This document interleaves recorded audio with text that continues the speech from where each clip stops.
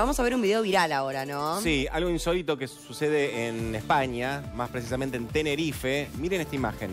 Van a ver huéspedes de un hotel corriendo rápidamente para conseguir una reposera frente a la piscina del hotel.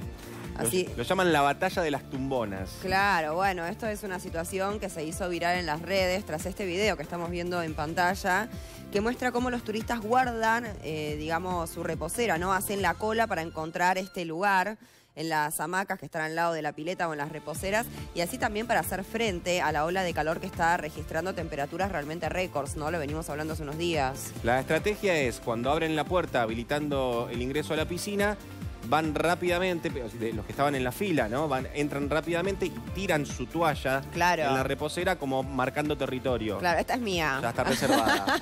Acá no puedes usar porque esta ya está reservada. ¿Ves? Es el momento en el que abren y bueno, todos eh, salen, no es que corren a los piques, pero van rápidamente Claro. a buscar su reposera para tenerla eh, reservada. Y parece que las que más cotizan son las que están al lado de la pileta. Y claro, justo al lado del agua. Bueno, a pesar de estas imágenes que estamos viendo en pantalla, el hotel dice que, bueno, tiene un gran número de reposeras y que los turistas se apuran sin razón para agarrar el mejor sitio al lado de la pileta. Mirá cómo corren, Santi. Ahí está, ¿ves?